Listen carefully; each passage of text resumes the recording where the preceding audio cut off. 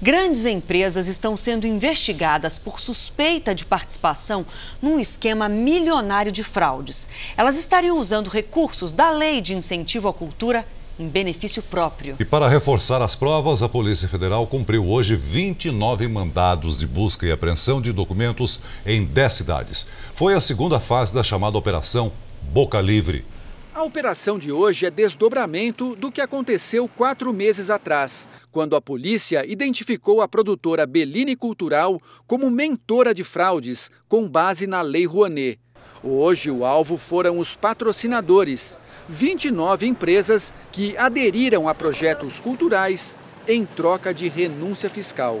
Todas são grandes corporações que, segundo a polícia, recebiam algum tipo de contrapartida ilegal pelos patrocínios investiam nos espetáculos desde que parte do dinheiro público fosse gasto em eventos corporativos de interesse apenas da própria empresa. Fotos divulgadas pela polícia mostram eventos fechados, custeados pela Lei Rouanet.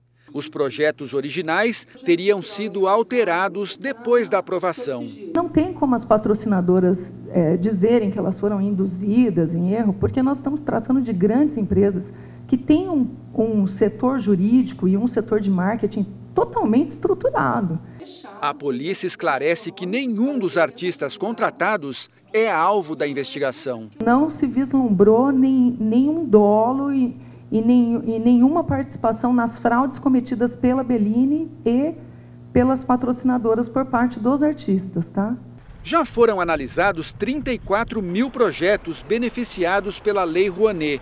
Em 87% deles, havia irregularidades graves, com desvio total estimado em 25 milhões de reais. E o objetivo da lei é excelente, a lei é boa. O que precisa ocorrer é o quê? É uma, e principalmente uma fiscalização da lei. Porque se os projetos forem fiscalizados enquanto estiverem sendo executados, nós vamos evitar que fraudes ocorram e que recursos públicos sejam desviados.